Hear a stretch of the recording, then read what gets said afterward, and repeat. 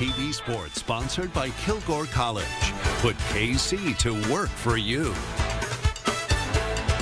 So the Lady Patriots of UT Tyler, they go one and one in the Lone Star Conference basketball tournament, but land with the sixth seed as they advance to the big dance, the NC2A Division Two, and are looking forward to moving on and putting that conference tournament results behind them. Getting in a final practice, the Lady Patriots are a mature team, and with coach Rebecca Alvarez in just her third season, the NCAA regionals are a back-to-back proposition. She now has the benefit of taking an experienced team into the NCAA South Central Regional.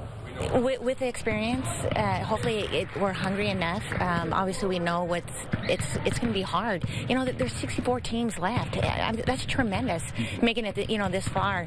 Which you know, it's not an easy task. Um, a lot of people think that like, oh, well, you, you made it. No, I mean there goes a lot of hard work, a lot of sweat behind you know closed closed doors. So you know, to be put in this position, I think is is awesome.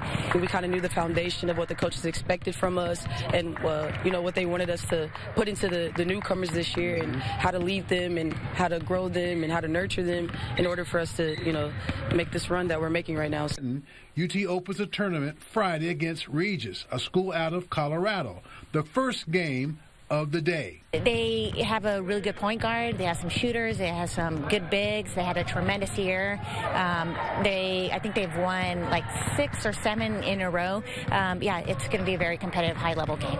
For KLTV Sports 7, I'm Michael Coleman.